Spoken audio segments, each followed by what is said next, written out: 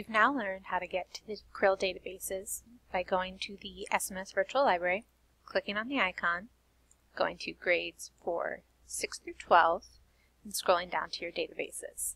So now that you've chosen which database you want to use, it's time to find information. You can do most of the same things in every database, but how you do it and what it looks like depends on the database. So we're going to look at Britannica and Explora side by side. For some reason, when I click on Britannica, I then have to choose which level I want to use, so I'm going to click on Young Adults. Now in any database, there are two basic ways of finding information, browsing and searching. These are also the two ways that you can find books in the library, just saying. If you know what you want, you can search for it by typing in the search bar. When you search for something, you should use only keywords that sum up, sum up what you're looking for. So say I want to know more about a certain period in art history called Impressionism. I'm going to type in the name of that period, but I'm also going to type in the word art to specify that I'm talking about art history and not like impressions of celebrities or something else. And as I type, I'm given suggestions. Sorry, I didn't type Impressionism.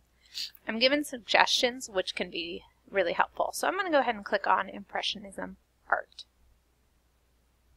And after I type in my search terms, I'm given a list of results. You are always able to filter or refine those results to better find what you need. So in Explora, after I type in Impressionism, art, I can filter my results here on the left-hand side. I can narrow the date of publication, so when the article was written.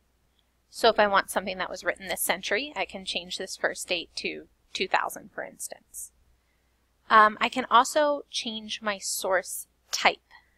For example, encyclopedias usually have more general information, while academic journals and magazines usually talk about a specific topic. And then a biography is about a person. So you can think about what do you need and then choose the appropriate sources. And finally, Explora lets me choose my reading level by choosing the Lexile range, which that could be helpful. Now, I can do many of the same things in Britannica, but it looks differently. Instead of specifying a Lexile level, I can choose a reading level 1, 2, or 3, and that changes my results. And the results list defaults to showing articles, but I can also choose to look at images or videos or by clicking on More, I can choose to see dictionary entries, magazines, or primary sources. A very cool feature that Britannica has is Web's Best Sites. So this is a list of websites and links to those websites that the editors of Britannica have reviewed and recommend. Both databases have advanced search features, which can be really helpful, but I don't have time to go into right now. So I really encourage you to explore those on your own, especially if you get stuck. So that's how you search. Let's talk about browsing. Browsing is great when you're first starting your research or trying to get ideas. So the homepage of Explora shows different categories and then topics underneath those categories. So if I click on More under Arts and Literature, I'm taken to an alphabetical list of people and topics that are related to art and literature. Britannica, on the other hand, starts by having you choose a format that you want to explore. Once I choose articles, which is probably mostly what you're going to be working with, I'm given broad topics. If I click on Society, I have article suggestions, but I also have a list of more specific topics.